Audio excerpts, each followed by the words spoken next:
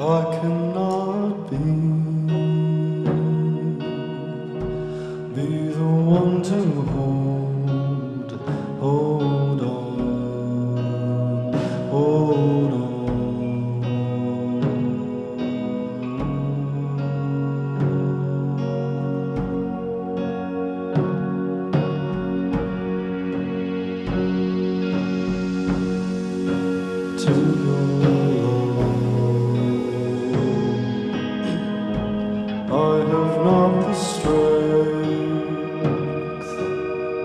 strength from will to hold,